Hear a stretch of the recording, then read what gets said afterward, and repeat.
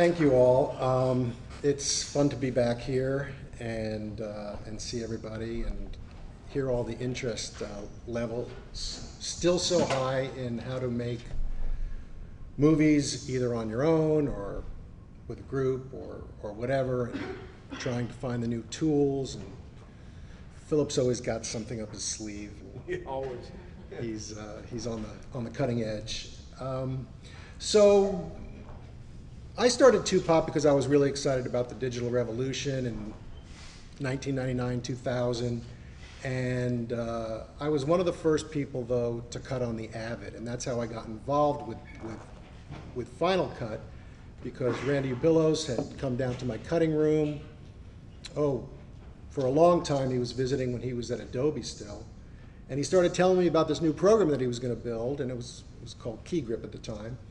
And um, you know, I was just jazzed because I was a young, I was an assistant still, and I knew those Moviola's day, Moviola days were over. And uh, my dad had been an editor, and uh, I knew that we were coming to a time when you know it just wasn't going to happen on film anymore. But I always uh, was terrified of videotape because it involved a lot of numbers, and I'm not a numbers guy. I wish I was more of a numbers guy. But uh, so I skipped over. I, I stayed in film. I was an assistant film editor for 10 years uh, on features and TV, mostly features. And then I saw this Avid, and I said, "That's going to be, you know, what my life is about if I want to continue to be an editor." And uh, again, I kind of uh, did a lot of early work on that. And uh, and when and, and when Final Cut came along, I mean, I was just so jazzed because the early Avids were like $150,000. And then there was this program that was going to come along for, I think, what was it, $999 at, at the beginning? And it was just like, wow, this is going to change everything. This is going to put the power of communicating with video in everybody's hands. And to me, that's a really important thing. Uh, you know, um, the craziness going on on YouTube and what have you, notwithstanding, it's it's it's it's at the very least a way for everyone to express themselves. So I was excited about that, and um, and I worked with Final Cut. I cut a I cut a feature or two on it, and uh, up until about seven, and then what happened was my rigor mortis of being an avid editor kind of started to set in, and Final Cut Pro 10 changed uh, in a big way and I'll be frank, I wasn't about to learn a new piece of software to do my primary work. And I've played with it. Uh, I don't understand it entirely, but I, I enjoy playing with it. I, I enjoy playing with Adobe Premiere. Uh, I think that that's a, a, wonderful program. All the Adobe programs at this point are, are really, boy, they've come up a big notch. And uh, okay, so the crux of the biscuit is Richard and I were working on this film that we just finished, finished which is called Naked. It's going to be on Netflix on August 11th, so everybody can stream it. You got your volume up on It's uh, starring Marlon Wayans. And it's a totally different thing for Marlon. It's still crazy and everything, but he's uh, it's kind of a sweet romantic comedy. And uh, Richard had created this thing called, um, well, it was a File, FileMaker Pro database, and what it essentially was was a digital code book. And I thought it was the most amazing thing I'd ever seen because I used to do a code book by hand with paper, and Richard was like flying in, Final, uh, in, in FileMaker, and he had the whole show in this file. And when I say the whole show, you have to understand because of the digital revolution, one of the, I guess you could say, downsides sides for editorial is uh, there's massive amounts of footage. They never turn off the camera. They used to say cut, and then they wouldn't print everything because it was film and it was expensive. But now they just keep the camera rolling because digital's cheap. So on this film, we had 130,000 hours of dailies. 100, 130 hours of dailies. I'm sorry. I got completely shit-faced drunk before I got here, and I don't know what I'm talking about. 130. I'm thinking in footage. 130,000. 130 hours of daily, which is five or six days of, of, of just film. So, uh, not, you know, 130 hours notwithstanding, it's a, it's a lot of material. And Richard had to keep track of all that. And we all, as assistant editors or editors, have to keep track of our footage and the metadata that now goes along with it, obviously. So we got to talking and we thought, we really need to teach people the workflow on a feature film because that's not something that's really taught in, in film school. They teach you how to edit. And I don't, let me see, how many people consider themselves editors of some sort here? Okay. How many people work as assistant editors professionally? Okay, so you know the drill. There's a lot of stuff to keep track of. And um, Richard had this great database, and we thought, why don't we put together a course that can really teach what goes on in Hollywood, in, in, in the major production centers. When I say Hollywood, it could be anywhere, it could be New York, London, um, when, when you make a feature film. Independent, large scale, what have you. Um, now, there's, there's always a little bit of controversy. Uh, if you ask any, almost any professional film editor working on a major studio or independent film or television, how do I become a film editor? Um, they'll tell you that the best way to become a, a film editor on major films, like the John Wicks or the films you see in the theaters or on Netflix, is to become a really good assistant editor. Now, for some people, that might be a bit of a letdown. For others, it's a career path. Um, I spent, like I said, 10 years as an assistant editor. And that's why we created Master the Workflow. Basically, what uh, Richard and I put together is um, a first of its kind training. Like I told Michael, uh, it's been a world that most people have a, had a really hard time getting into, and they still do. But if you want to become a professional film editor and work on big Hollywood films and television shows, and now with the cable revolution and the streaming revolution, I mean, Apple's going to be producing material. Uh, obviously, Netflix is a monster. Uh, and there's a, lo a lot more work out there.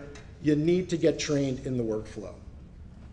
We've worked for you know companies like you know the big studios. I've done I've done films for every major studio, so we felt we were pretty we were pretty well qualified to kind of put together this training course. Uh, it's based on real world experience. We just created our most recent project, like I said, Naked for Netflix. I'm going to let Richard take over and, and talk a little bit about um, who Master the Workflow is for. Hi, I'm Richard. Thank you. and uh, who is the master? Who is Master the Workflow for? First off, uh, if you're a student, you're fresh out of film school, you've worked on student films, uh, maybe you didn't even go to film school, like me, I didn't go to film school, but you're motivated to start cutting, you've read, you've read in the blink of an eye, and now you need, uh, you need some, uh, some more insight on the nuts and bolts of the process. This, pro this class is for you. Are you a new assistant editor? You've been working in perhaps short form promos, perhaps you've been working in unscripted, I started there. Uh, perhaps you're working in scripted television. New assistant editors, you're still uh, a little wet behind the ears, you want to get a little uh, insight on some workflow, this is for you. Are you an experienced assistant editor and you're looking to transition into features? We all know how insular the worlds can be. It's very difficult to transition from reality to uh, scripted television to feature films.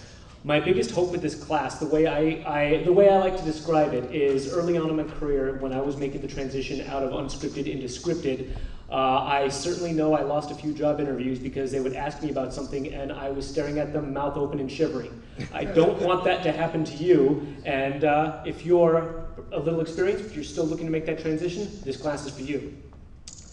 If you're already well experienced, you already know what you're doing, but you're just looking for more workflow tips, I find the biggest value of being an assistant editor. I've been an assistant editor for nine years, longer than most of my colleagues by many standards, but I still think there's an awful lot of value in the more people you work with, the more the more workflow you take from people, you amalgamate your process. And I never I never do the same project twice because I always learn cool things per project by jumping on our workflow, seeing what how the way I work, I'm hoping that you'll find what you need, find some things that help you out, maybe some things I do you don't like. But if you're an experienced assistant editor looking for more workflow tips, this class is for you. And finally, Anyone looking for insight on how to organize, manage, or turn over a feature film, especially if you're an editor, a lone wolf editor working on an independent project, and perhaps you don't have an assistant editor, and perhaps you haven't assisted edited in a long time, in which case the assistant editing process has changed drastically.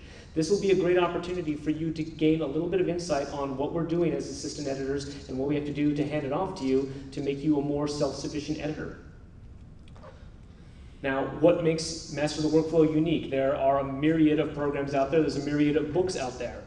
The biggest thing is that Master the Workflow is not just about the software. You can get training courses that teach you how to use Avid, that teach you how to use Premiere, that teach you how to use Final Cut, and that's great, and it's imperative that you know how to use the software. But whether you're working in television or features, again, this project, this class is directed at features. There is so much more to know than just the software. We're going for full workflow from pre-production to final delivery. How do you utilize your relationships? For example, coming from unscripted, when I started working in scripted, I didn't know who the script supervisor was, what they did, or why I needed to talk to them. Now I know they are the single most important person the assistant editor can know. Translating your current working knowledge. Again, this class is based on you've been working for a little while, you know what you're doing, but Perhaps you don't know the terminology that's going to be necessary in the feature workflow. Most of this stuff can be explained very simply, very quickly, and that's the primary aim of this class, translating your working knowledge into features. And the real benefit to this class is a step-by-step -step breakdown of the entire editorial and post-production experience.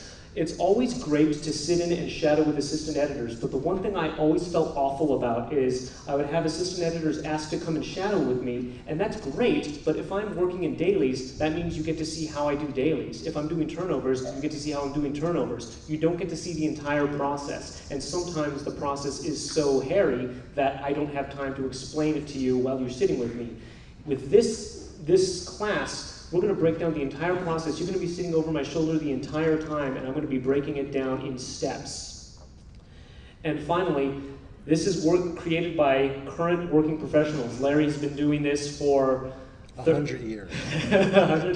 36 years. Uh, long time. I've been doing this for, for nine years. It's 45 combined years of experience. And some of the topics that we're covering in Master the Workflow defining terms and concepts. Again, this is one of those things is regardless of whether you've gone to film school, I find that terminology is a very flexible thing. A lot of people use the same words, or rather they use different words when they use the same thing. Case in point, if someone asks you if you know scripter, I absolutely lost a job because I didn't know what scripter was, but I knew what ScriptSync was. I wish I knew they were the same thing then. Um, the initial meeting with your editor. Before you even get the job, you're going to meet with your editor and you're going to find out if you're a good fit personality-wise and also just getting a feel for, you know, your, your sense of familiarity with the process. And I'm going to break down, you know, what are, what are some things you want to talk to with your editor? When, one, when you first meet your editor before you get hired, and once you get hired onto the job, before you even met with your production, there's a million things you're going to want to ask your editor. For example, how do they set up their room? How do they set up their system? All of these questions can prepare you for that situation. Where are the good lunch places? That's a, that's a biggie. Setting up the cutting room, which I touched on a little bit before. Again, every editor has the way they like to work, and by knowing these questions in advance, this is going to make you more prepared for that situation. Does your editor like a continuity wall? What direction do they want their desk facing? Do they want the windows covered up with Duvetine? All these things very valuable to know. I mean, you know, excuse me, but they, you know, some of these things, they sound a little mundane, but these things are really important to the team when you're working with directors, you're working with producers, you're going to be locked in those rooms for eight months, a year. It's it's sort of like the nuances. I think what Rich is talking about. Absolutely, and you know, for, especially for people working in unscripted, because again, I started in unscripted. Organizing and utilizing the paperwork. The first time somebody asked me for a continuity, I told them, well, it starts at the beginning and it ends at the end. Uh, a little bit more to it than that. Um, so. Um, that's what I'm going to break down all of the paperwork. How do you utilize it? And again, some of the paperwork and how you use it is not entirely obvious. So I'm going to break down all of that process. You know, from the camera reports to the sound reports to the uh, to the call sheets. Line script. Line script. Line script's a biggie. And I'm going to break down the relationship between editorial and production. Again, coming from unscripted, these are a lot of things that I never dealt with, other than the fact that I was angry at production all the time. Um, but uh, again, in, in a feature workflow where there's going to be a lot of back and forth conversation, especially between the assistant editor and the script supervisor, there's also a lot of things to know. For example, you don't necessarily want to jump to the highest levels first. You don't go directly to the DP, they're busy. I'm going to break down these relationships and how it concerns you as an assistant editor. And again, on the whole, we're breaking down the entire post-production pipeline from your pre-production meeting at the beginning to the final stages of DI and mastering. And in the case of Netflix, uh, which is a new and emerging process, their, uh, their turnover requirements are quite unique. And so we'll go all over all of these things in great detail. Other topics we're going to deal with is project structure. This is one of those things where, of course, you can take it or leave it. There's a million different ways to organize a process, but we're going to show you how we did it on this film and how the film was successful by it. Again, it's another one of those situations where you can take what works for you, you can throw away what doesn't work for you, and it's just another option. It's another way of seeing how another person works. We're also going to break down media storage which goes beyond just your Avid ISIS, but also how we back things up and how we label things. Very important, because once you turn that film over, it needs to be in a way where people can get to it and understand how things are organized and where they are. Otherwise, you're going to be getting a lot of phone calls, and those are always fun. No, they're not. Dailies. This also seems mundane, but it goes without saying. If you if you're coming from an unscripted world, or even in television, there's just a, a, a myriad of different ways of labeling things. So this is going to be an opportunity for you to get a little insight on how we organized our project. Temp elements, organizing and databasing sound effects, music, VFX, and ADR. And uh, assemblies, outputs, and versioning, just keeping track of your cut as it moves along. These are, uh, these again, is another thing where there is really not a right or wrong way to do these things. There are good ways and bad ways, and we're going to talk about how we did it, why it worked, and why it'll probably work for you. And Lastly, the digital codebook, which, as Larry said, it's a biggie. I've been working on my database for about two years, and I'm very proud of it, and uh, we'll go over that. And uh, uh, we're going to deal with working with vendors, how to spot sound, how to spot music, visual effects. Working in, uh, in unscripted, first time I heard about a spotting session, I didn't know what they were talking about. So these are all things that will be very valuable to you. Previews and test screenings, and the stress that goes with them. um, Finishing turnovers, outputs, change lists, change lists. If you've worked in television, change lists never happen in television with few exceptions. Change lists, the first time I was asked to do one, I was shivering. I had no idea what it was. We'll break down the process with you. It's very simple. And uh, like I mentioned in brief detail before, the digital intermediate and final delivery. What are those last bits, again, when you're at the end, you're out of money, and everyone's asking you for a million things at once? How do you deal with that? How to get into the union and the requirements. This is a simple one, but it's, it's interesting how uh, there's, there's a constant amount of questions. I also serve with the MPEG Board of Directors, and it's a common question. What do I need to get into the union? We'll demystify all of that for you. Editing room protocols and diplomacy. This is a topic that is not one that's talked about that often, and it's extremely important. And you'll find the larger budget project you work on, the more important that diplomacy will play. And we'll just talk about, again, this comes down to relationships and reading the rooms. But this is one thing, this is a topic that I haven't seen really in any books, and it is a very difficult topic to cover because much of it kind of has to be learned on your own, and it's all about reading people but we're going to break down our perspective working on this film and through our past experience as working assistant editors and editors. And next, I'm going to play you a sample from uh, our recording. The next term I want to familiarize yourself with is a rebalance. A rebalance will never happen in television, but it will happen in film. And what a rebalance is, is going back to the reels, which is the way you cut a film, you're going to have a certain number of scenes within a certain reel.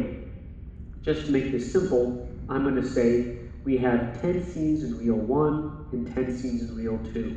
So, knowing that your reel should be approximately 20 minutes, you have scenes 1 through 10 in reel 1 and scenes 11 through 20 in reel 2. And through the editorial process, you're cutting reel 1 and it starts to get a little short. So reel 1 gets down to 16 minutes. And you say, reel 1's a little short. We should probably take some scenes out of reel 2, put them into reel 1, just to get their lengths about even again. By moving a scene out of reel 2 into reel 1, that's called a rebalance. When that happens, especially if you're in turnovers, you're going to have to deliver what's called a rebalance list. We'll get to that later. I just want you to know what a rebalance is, since that's something you'll never see in television. So that's just one example. That actually comes from our terms and concepts uh, lesson, which again, we, we start the class off just trying to give you a good foundation, just terms and concepts that you're likely to hear. And moving on, some of the added bonuses, again, I will be providing you my database, and a large part of our module is I'm going to break down how to use this database because there's an awful lot to go through it. Uh, this database tracks absolutely everything that I do paperwork wise. It tracks, it is the literal code book. I track incoming footage. I track our continuities in there. I do measurement charts. I do visual effects tracking. I do our ADR list, our music cue sheets, uh, and I keep logs of our turnovers. And I even keep a hard drive log because I hate when I lose cables and I like to know where they are when I lost them. um, this will all be given to you, and uh, that's uh, that's uh, one of the added bonuses. And I'll let Larry take over. Sure. Um, we're going to have a, pri- a private Facebook group, so uh, you know you can be in touch with us, and particularly Richard. He's obviously uh, demonstrated what an expert he, he is at this stuff. Uh, we're also going to have a members referral database after uh, you've completed the training. Uh, we'll have a short interview with you, uh, and we'll create. We're creating a database who uh, we could then refer you to other editors that we know. And hopefully that will be of, of value to people. Okay, so how much does something like this cost? Uh, obviously, it runs the gamut. There are courses out there for $99, and there are some Avid training courses out there for $2,000. Uh, the regular price uh, is for payments of uh, $297 or 997 uh, if you pay all at once. Uh, founding members pre-launch special, which is what we are going to be launching. Uh, we're talking about it tonight. It will be up on the internet um, next week. Uh, we'll be limited to the first 50 people, so we can actually, uh, you know, you know, handle the amount of, of information and, and questions. Uh, will be 40% off. It's four payments of 187 or 597 uh, again, uh, that you would save some money doing that. Uh, we are partnering with ACE on this, the American Cinema, Cinema Editors. We're going to be media sponsors at EditFest this year. We're getting a lot of nice feedback from, from educational institutions. And um, we want to train the next generation of assistant editors and film editors. So take out your phones, go to mastertheworkflow.com, and sign up because we've got a bunch of free material up there that just talks about, you know, uh, what the course is about, and then, you know, tips and, and, and tricks, uh, PDF downloads, things like that. And um, what else? How about some questions? Yeah.